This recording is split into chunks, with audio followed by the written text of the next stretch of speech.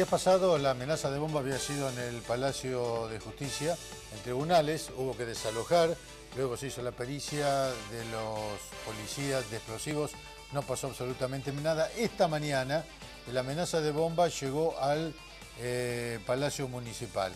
Allí, a través del conmutador, pasada las 9 de la mañana, se recibió una llamada como que había colocado un artefacto explosivo.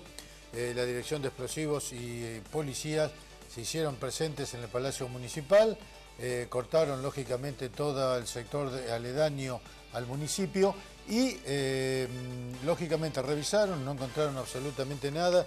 Es un hecho que se repite en pocos días, primero en tribunales, ahora en el Palacio Municipal. Menos de una semana, de una delitos semana. de acción pública que en este caso se judicializan, porque lo que hay que decir es que luego de lo que fue la revisión del Palacio Municipal y de todo el edificio, lo que se hizo fue un contacto con la Fiscalía número 2, quien es la que va a tener a cargo la investigación. La doctora Laura Margaretic dispuso algunas medidas para comenzar a establecer quién podría haber sido el autor o los autores de la comisión del delito de acción pública por esta amenaza de bomba. En el lugar, eh, a cargo de todo este operativo de control, estuvo el jefe de la Policía Departamental de la Policía de la Provincia de Buenos Aires, Raúl Arameda. También estaba acompañado por el subsecretario de Gobierno, Walter Surget. Eh, en pocas palabras, ellos explicaron lo siguiente.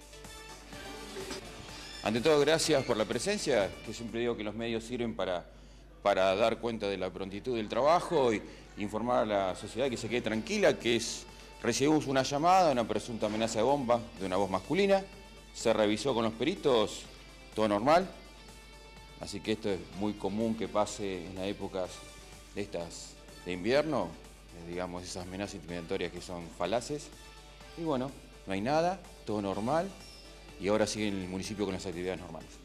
Esto se recibió a través del conmutador del municipio. Correcto, Eh, caso similar al que pasó días pasados en tribunales. correcto, de la misma forma. ¿Cómo se analiza esto? ¿Cómo se investiga ahora?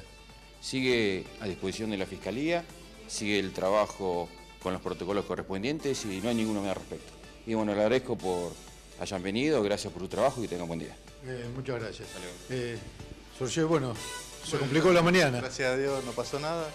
Este, felizmente no había nada, hicieron la- eh, eh, todo el reconocimiento del edificio, no se encontró absolutamente nada, así que bueno, seguimos trabajando. ¿A qué hora fue aproximadamente? 9 y 10 fue el llamado. O sea, se revisó prácticamente todo, Todo el departamento. totalmente, todo el edificio se revisó.